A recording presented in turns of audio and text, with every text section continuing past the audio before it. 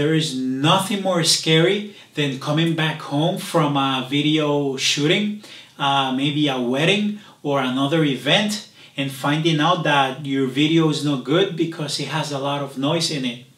It happened to me before and I freaked out. I started looking for plugins, for effects, programs to try to fix the video, and I came across this little trick and I want to share it with you. Maybe it can help you. Um, hopefully, you never need it, but you never know. Um, to me, I didn't set the ISO correctly and it introduced a lot of noise in my video. So um, let's get to it. Okay, so let's go to Final Cut Pro. I already selected a clip here from a music video I was making and you can already see all the noise here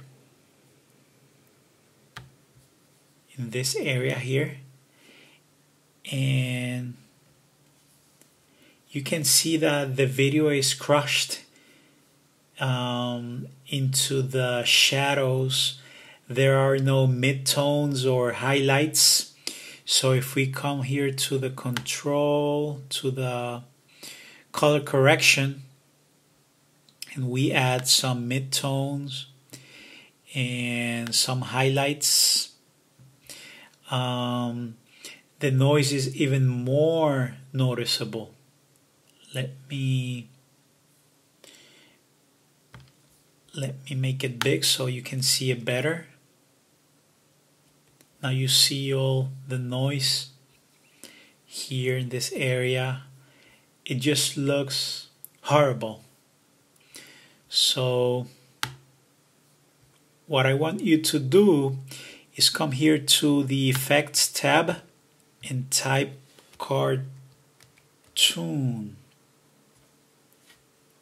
Now we're going to add it and you can see already how it changes. It looks more smooth. But the good thing about this is that it, it's free. It's a free solution because this plugin here, Cartoon, comes with Final Cut Pro. Now, if you look at it, it looks like a cartoon. It doesn't look real. So what I want you to do is go again to the settings here. This is the effect we just added and type 85%. Now it looks more real. After that, you can add some sharpness.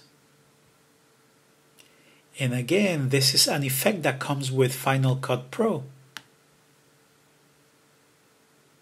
Okay, so I added a little bit of sharpness to compensate for the cartoon effect. I can even push it to 90. It looks a lot better.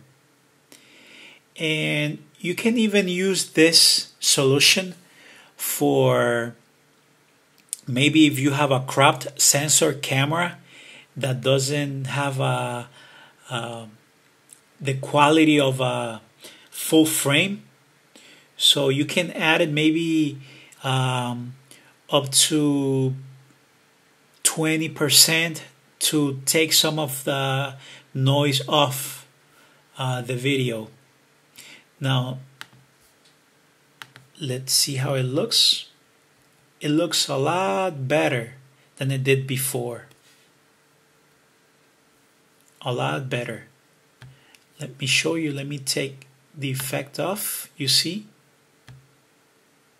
It looks more smooth. Now, this solution is not the professional solution.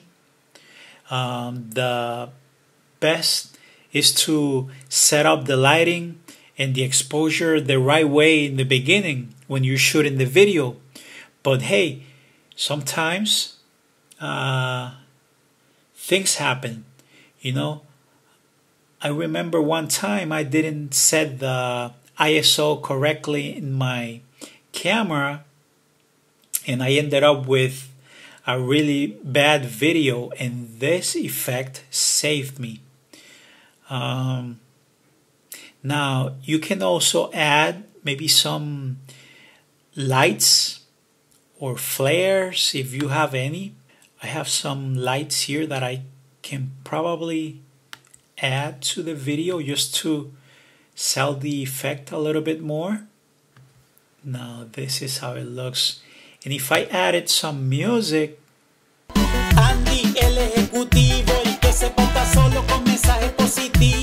now if you compare this to this, there is a lot of difference. I hope I was able to help. Um, if you like this video, please uh, subscribe.